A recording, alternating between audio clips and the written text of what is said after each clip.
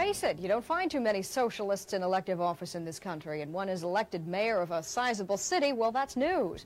It's also Phil Donahue's topic this morning. Good morning, Jane. A couple of facts. Burlington is the largest city in Vermont. The state has about a half a million people. Burlington has about 38,000. Situated as it is on Lake Champlain with the Adirondack Mountains view, viewable, it's a lovely, lovely spot in this country.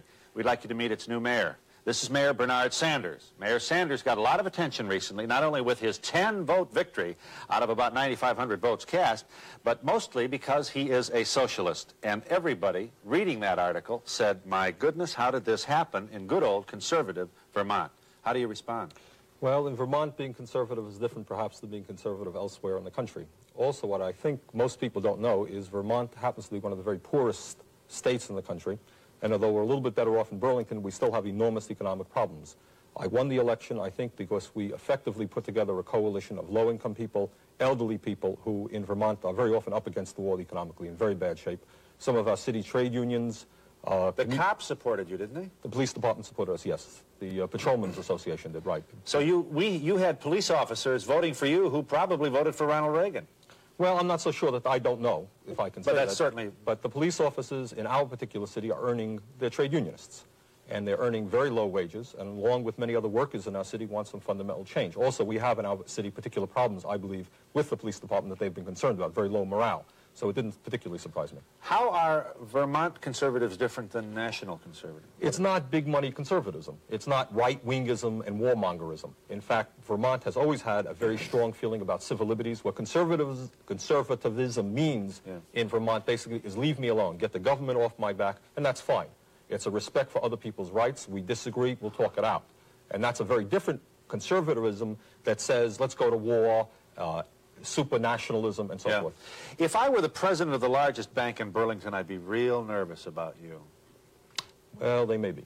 They may be. Uh, but I think, and they are, but I think what we've often talked about also is that my powers as mayor are in many ways limited. And I have my visions as to what life should be in Vermont, in Burlington, and in the United States. But within Burlington, I acknowledge everybody knows what my powers are, and they're very limited. Right. We're not going to go around nationalizing banks or nationalizing industry. In fact, we want industry in Vermont that pay decent wages, and we're going to go out and bring that in like every other mayor in the United States is. We are going to speak out, though, on national and international issues which affect the city of Burlington. For example, obviously, we're very concerned about Mr. Reagan's policies, which are impacting devastatingly on low-income and working people. We're concerned about the policies in our own state government. Uh, which are affecting low-income people negatively. Yeah. But we know what our powers are within the city of Burlington. When you sit around with your own friends, uh, talking about the world, here, how we got here, where we're going. Right. What's your what's the biggest grievance? Give us your overview. All right, here. what we're talking about is that we believe in democracy. I mean, the problem with the word socialism is that very often it's been equated with what happens in the Soviet Union, which is authoritarianism and totalitarianism. I believe very strongly in the right of dissent, and, and I think people with my ideas fight for those things very strongly. What we talk about is the fact that in our society, theoretically a democratic society, you have a handful of people who control our economy. You have uh, maybe 2% of the population that owns one-third of the entire wealth of America, 80% of the stocks, 90% of the bonds. And these people have incredible power. They sit on huge corporations like the Chase Manhattan Bank, the multinational corporations, and they determine the destiny of our entire country. As you know, perhaps 50% of our population has so given up on the democratic uh, process, they don't even vote, and those are primarily poor people. Your state is thought of as not only beautiful, but the place you go to get away from all that big city smut and uh, uh, soot and all the crud and the, the, and you've got those wonderful ski areas. Hooray, let's go. More tourism for Vermont. Is How do you feel about that? Well, there's yes and no. Uh, I, I, think we don't object to people coming into Vermont to spend money. That's fine. But we do know within our own state, we happen to be, sadly, one of the very poorest states in America. And many of the people in Vermont themselves cannot afford to go to the uh, downhill skiing. We do more cross-country skiing. It's cheaper.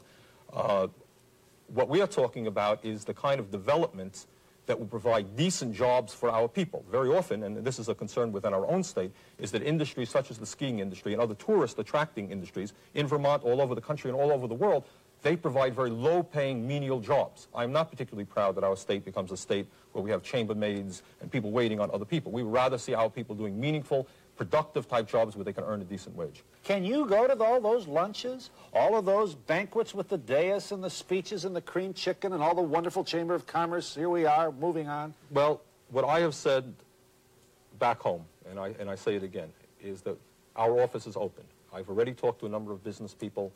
Uh, we will communicate. We're not shutting out anybody. But what I have also said is that what my concern is, is for the low-income people who are unemployed, are working at minimum wage jobs, for the kids who are in Vermont as throughout the country. They're left out. They have no sense But of purpose. everybody says that, Mayor. Well, they're going to be coming into our door. Do you want a tax, for, especially for people who make more than $25,000 a year? Well, that, for, for individuals, perhaps not for families. That's too low. You know, we have husbands and wives. But, but you would consider uh, legislation that would tax the wealthy. Absolutely. We want to take the burden off low-income and working people, and you've got to go to those institutions, those corporations, and those individuals who can better afford to pay. You, uh, you surprised everybody with this victory, including media. And not all media has been consistently attentive to you. Isn't that right? I think what people were saying is, well, gee, Ronald Reagan is, is a right-wing guy, and what happened in Burlington, Vermont? And I think the answer to that is I don't believe personally that the majority of people in America believe in Ronald Reagan's ideology.